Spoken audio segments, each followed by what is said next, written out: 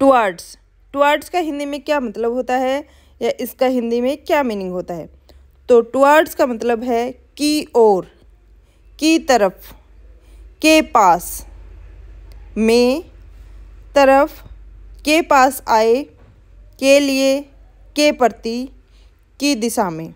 Example he walk towards the park वह park की ओर चला। तो इसके साथ इस वीडियो में बस इतना ही।